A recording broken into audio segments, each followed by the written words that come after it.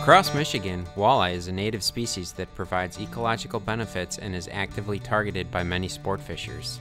As such, managing walleye populations is a priority for the Michigan Department of Natural Resources.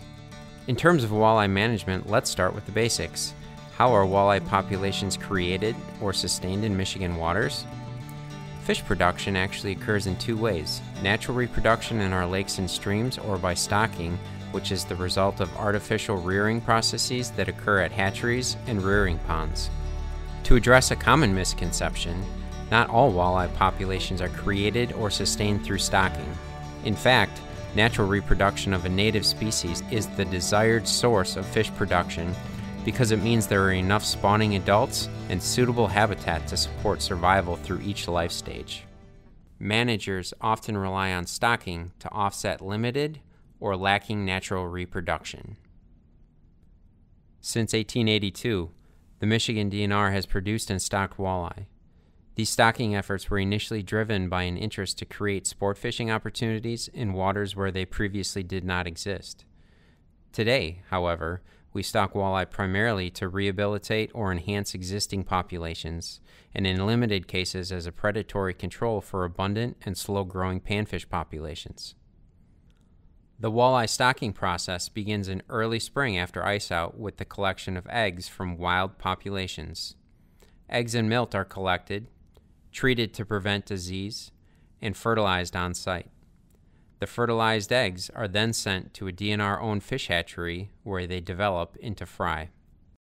After the fry emerge in the hatcheries, they are stocked into rearing ponds to grow to the desired size for stocking, predominantly spring fingerlings that are approximately one and a half inches in length. DNR staff are responsible for operating the rearing ponds to produce these spring fingerlings. Additionally, many walleye ponds are owned and managed by sportsmen's groups and other external partners who work collaboratively with the Michigan DNR. These public private partnerships are critical for the production of walleye each year. Spring fingerlings are harvested from the rearing ponds and stocked in public waters typically from May through July. Occasionally, walleye are kept in select ponds throughout the summer and stocked in September or October as fall fingerlings. These fall fingerlings are typically larger and have an increased survival rate after stocking, but they are also substantially more costly to raise, and pond capacity is limited in Michigan.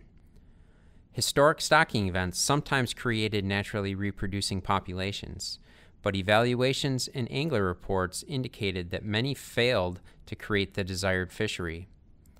DNR evaluations are informed by different surveys throughout the year, but specifically during the fall, staff collect walleye that were hatched naturally or stocked in the spring to assess juvenile survival.